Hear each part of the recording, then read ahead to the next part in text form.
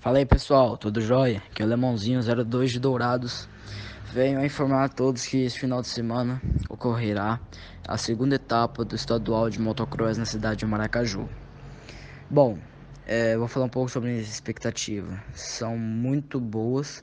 Eu venho me preparando aí bastante. Eu tenho treinado também bastante na pista. É, eu vejo a pista como uma pista bem técnica, uma pista de alta com saltos é, bastante longos.